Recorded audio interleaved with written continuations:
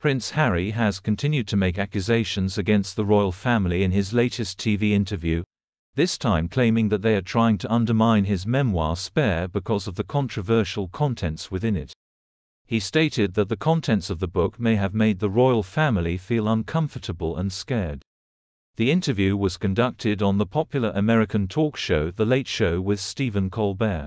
During the interview, host Stephen Colbert questioned Prince Harry on the backlash to the book, asking if he believes the royal family has an active campaign to undermine this book. The Duke of Sussex replied, Of course.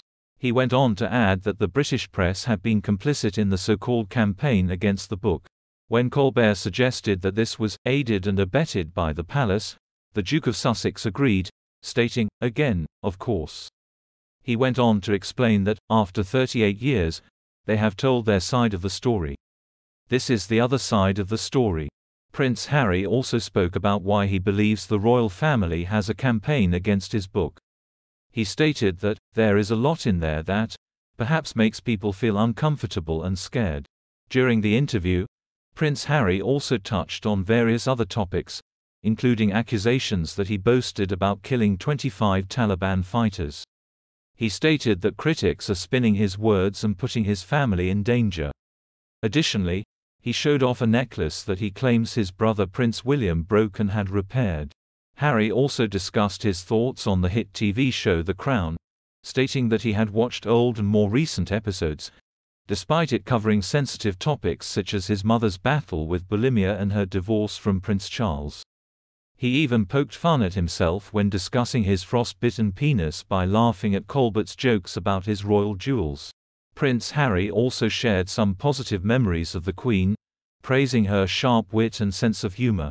Despite the serious nature of some of the accusations and discussions in the interview, the overall tone was lighter, to fit with the vibe of the late show. The program opened with a skit where Colbert stood alongside two trumpeters wearing replicas of the uniforms traditionally worn by the state trumpeters of the household cavalry. As they began to play, Prince Harry was pictured on a red carpet and told the TV host that such pomp and pageantry wasn't necessary. But then Colbert was joined by actor Tom Hanks and told the Duke that the trumpets had been intended for Hollywood royalty, rather than British royalty all along. Colbert then offered the Duke of Sussex some tequila before the interview began, recognizing that Harry is a very private person for being a public figure. Harry responded,